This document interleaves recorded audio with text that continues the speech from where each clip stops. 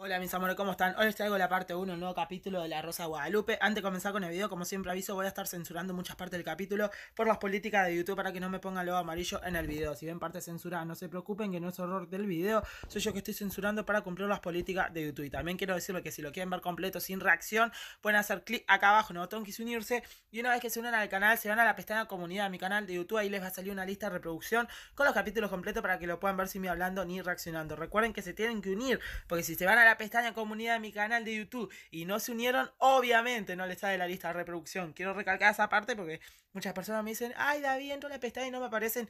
Claro, porque no estás unido. Uno tiene que unirse para que les aparezca porque es para las personas que son miembros. Ahora sí, eh, ya que acabo de explicar eso, vamos a comenzar con el capítulo. Chicos, ya saben que de vez en cuando me pongo por encima de la imagen, e intento como tapar y hacer ciertas maniobras para que no me detecte el copyright y me bloqueen el video y me lo borren. Por tanto, tengo que hacer eso porque así por lo menos podemos verlo, ¿no? Y podemos saber cómo va a terminar este capítulo. Y también ya saben que contaré yo eh, mucho más la historia porque si reproduzco mucho el video me lo bloquean. Bien, vamos a ver.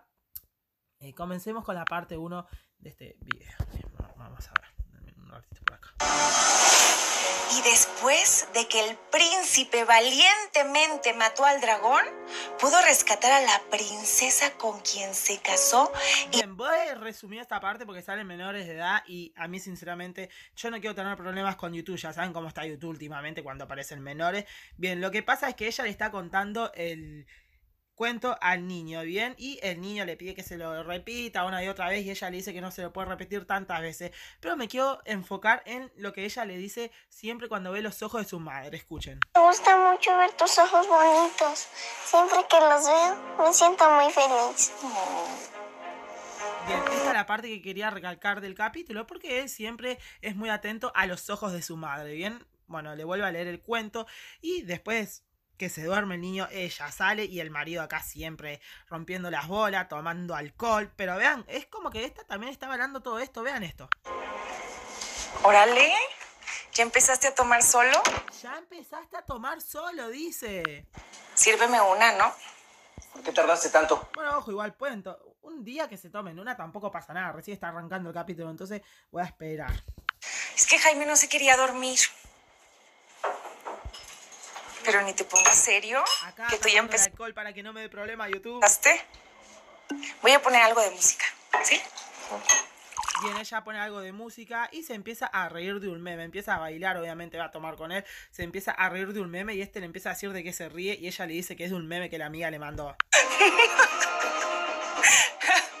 te está mandando mensajes a esta hora, eh? Es una amiga, me mandó un meme. Una amiga. Seguro es uno de tus amantes, ¿verdad? Empieza a decirle a ella que seguro es uno de sus amantes y lo que hace es irse arriba de ella. Empiezan a discutir, el niño chico empieza a escuchar y para no aguantar todo esto se tapa hasta la cabeza y obviamente empieza con sus agresiones el señor. Bien, acá lo que sucede es que este ya está en la casa con sus padres y con su mujer allá atrás y como pueden ver el tipo vive tomando delante de la madre y del padre, literal. No le importa nada, está el hijo ahí y aún así sigue tomando delante del hijo. Qué vergüenza y qué vergüenza la señora allá atrás también. Eso es lo que necesito. Me imagino que ya estás tranquila, ¿verdad? Desde que se casó contigo, mi hijo anda como en muy malos pasos. Claro, porque al parecer vendría a ser culpa de ella, supuestamente, de que el hijo ande tomando. No, señora, el que se manda alcohol se lo manda porque quiere. Nadie le está poniendo una pistola a tu hijo y le está diciendo que se tome el alcohol. Antes de ti, Roberto no era así. No tomaba. Y no era grosero con nosotros. Roberto bebe desde que éramos novios. Y un santo no era. Así que deja de culparme porque no tengo nada que ver. Totalmente de acuerdo, cada quien se manda el alcohol porque se lo quiere mandar. Así de simple, véalo cómo toma. Igual esta loca no tiene mucho de qué hablar. Vean cómo toma y toma. Y delante del hijo, literal, no le importa una mierda. Igual es medio raro porque es como que acá veo que le cuenta historias de... Bueno, los libros se los lee y le cuenta historias. Y es como que por un lado veo que lo cuida, pero en el sentido de que ande tomando y todo eso delante de él, no me parece, no me parece. Te traje una sorpresa. Está padrísima. Resumir esta parte del capítulo porque realmente me quiero ir un poquito rápido con este video. Lo que hace es regalarle una foto y este niño se la guarda, obviamente, es una foto de la madre. Y le empieza a decir cosas de los ojos, como siempre, vamos a mostrar la parte de los ojos y después vámonos a cuando ya el niño esté grande. Bonitos me acompañarán a todos lados. ¿Qué dice? A ver. Que te tengo. Sí, mami. Y así No puedo reproducir esto porque habla como nenito, le dice, esta foto me acompañará a todos los lugares que vaya y le empieza a hablar de los ojos y vean cómo le enfoca los ojos. Acá sí voy a reproducir, pero en la parte del menor no quiero mostrar mucho por YouTube, ya saben las políticas.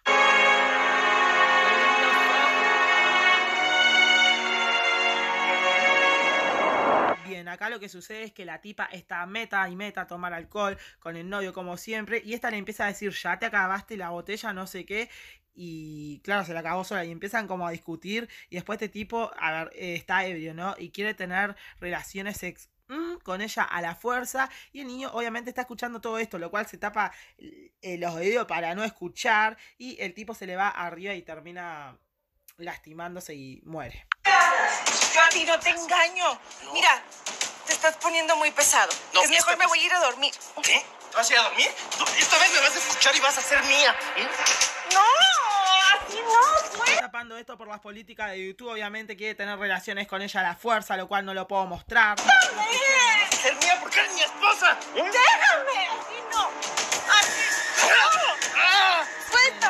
Dando una patada en los huevos y obviamente ella no quiere tener relación a la fuerza. Empiezan a discutir, vean el niño allá atrás de la puerta viendo todo como siempre, qué vergüenza, par de patéticos los dos. Y este se resfala, mientras tanto con la botella se pega en la cabeza, se quiebra el cuello y obviamente él termina muriendo, ¿bien? Y esta empieza a ver el niño ahí atrás, obviamente viendo todo y bueno, se muere, vean. ¡Roberto!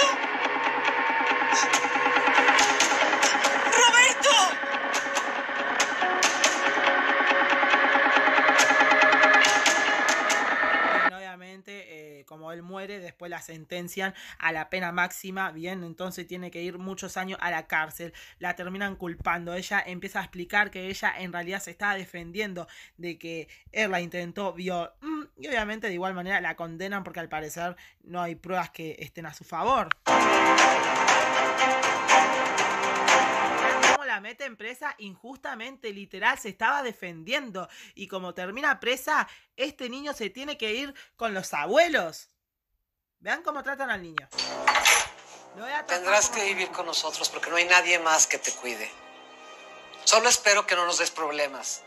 Voy a dejar las cosas del escuincle el cuarto. Del Abuelita. Del escuincle ese al cuarto dice, es tu nieto, es hijo de tu hijo, lo tendrías que querer. ¿Qué culpa tiene él de lo que ha pasado? O sea, no tiene ningún puto sentido que le agarren odio al niño. Pero eso no es verdad. Yo vi que mi papá se cayó solito. Él se tropezó. Escúchame bien, Escuincle. Tú no viste nada, ¿oíste? Los niños no ven nada y se quedan calladitos. Tú no viste nada, dice la ridícula esta. Los niños no ven y se quedan calladitos porque ella sabe que esa mujer fue injustamente a la cárcel. El niño literal vio todo y esta empieza a dar manija para que el niño no comente de nada, vean. Ah, y es grosera también, vean. Sola palabra de esto. Tu mamá es una mala mujer, con el corazón podrido, igual que tú. Tú y tu madre son malos, muy malos. Al menor por si acaso, bien, para no tener problemas. Quiero decir algo. eh, a ver, el niño ya vimos que vio.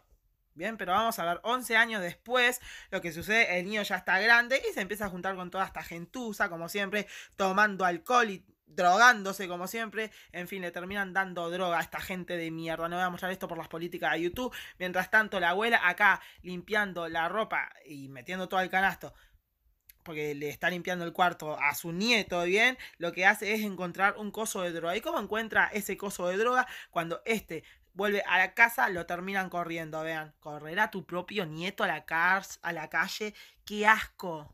Bueno, Qué asco esa gente. porque queremos que nos expliques qué es esto. Ay, señora, sabes perfectamente lo que es. Mira, hemos cargado contigo todos estos años. Pero ahora tener que soportarte que encima de todo te drogues ya es demasiado. Te largas de esta casa, ya no vives aquí. Como ustedes vean, solo voy por la foto de mi mamá. Hey, la pusimos en tus cosas. Literal, estos tipos ya ordenaron todas sus cosas para que literal llegara y se vaya. Ya lo corrieron y lo echaron. No te preocupes, igual a esta ni interesa tener la foto de tu madre. No te preocupes que estará ahí. Bien, lo terminan echando, vean. Vean, vean. Pero eso se acaba hoy. Hoy nos deshacemos de ti. Lárgate. Y no nos vuelvas a buscar jamás. Al parecer el gobierno se la habría dejado a los abuelos y ellos como que cumplieron ahí ahora, pero lo dejaron ir igual. Eh, yo creo que es un poco ilegal lo que hicieron, porque si son los abuelos y son los únicos responsables y se lo dejó el gobierno a cargo, deberían de cumplir ¿no? lo que el gobierno mandó y sin embargo lo echan a la calle, eso le puede llegar a causar problemas. Esto lo que bueno, vamos a ver semana después. Este tipo queda en la calle y obviamente va a pedirle a sus amigos a ver si no le deja quedar, a sus amigos drogadictos y obviamente le van a decir que no, vean.